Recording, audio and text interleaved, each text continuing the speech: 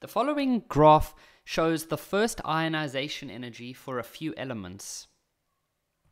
Now, it's important that you understand what ionization energy is. Of course, we have made videos on that, and if you haven't watched those those videos on ionization energy, then of course you should do that before trying to do this um, question. Pretty much what ionization energy is is if we look at a um, let's say we've got a an atom. Okay, so in the center we've got a nucleus.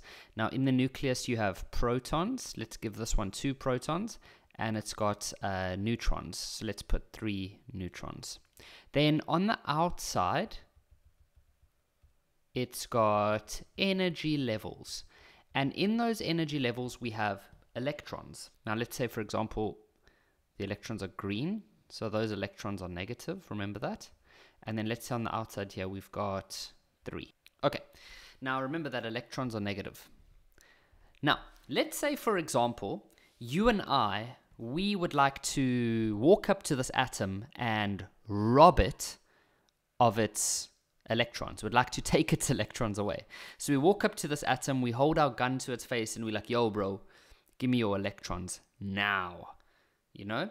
And so what we do is we always try go for the electrons that are on the outside first because they are the easiest to remove. But they are going to be a little bit challenging to pull away. Why? The reason is can you see that in this nucleus there are some positive protons. There they are.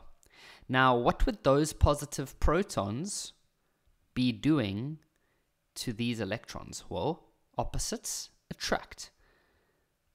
So, there is some type of force that we are going to have to apply, or we're going to need energy to be able to pull this electron away. That amount of energy that we need is called ionization energy. So, ionization energy is the energy needed to remove an electron from an atom. And then just remember to say the silly little part at the end. They, the teachers want you to say it in the gas phase. Your teacher might use the word gaseous. So, it's the amount of energy that you need to remove an electron from an atom which is in the gas phase. Okay, so that's this question. This question compare the ionization energy of elements in group number 18. Okay, so I'll have to go get a periodic table now. Group number 18, periods number one and number two. Okay, so let's go grab an electron, not an electron, a periodic table. So here we have our periodic table. Now they said that it must be in group 18. Okay, so that's group 18. Remember the ones going down, those are groups. And then they said period number one and two. So periods is the row. So this is row one and well this is row one and this is row two. So it's in group 18 and it's row one and two. So they want us to compare this one and this one. Okay, so what we need to know is that this is helium, okay? So if I had to draw helium, it definitely has a um, nucleus, right? And it's got two protons. So I'm going to put two positives.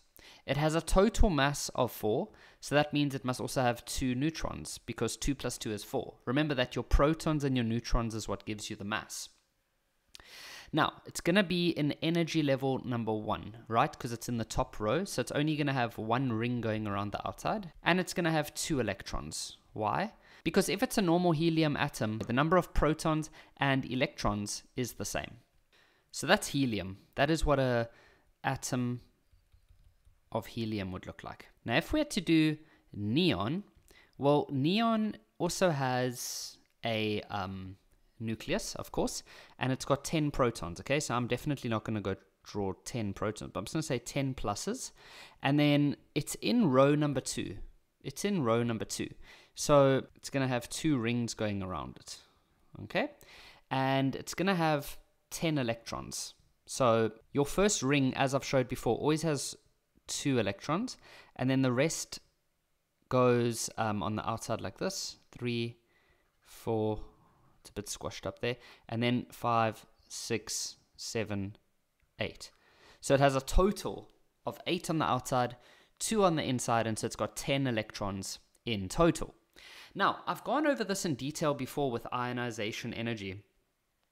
And the main factor we need to see here is that this distance is a lot less than this distance over here. Because remember, when you and I want to go rob these elect, we, we, we want to go steal electrons, we always start on the outside.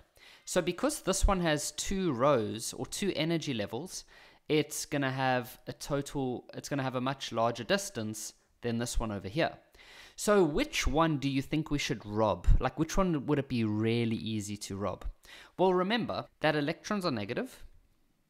Okay, so we know that there is an attraction over here, and we know that there is an attraction over here.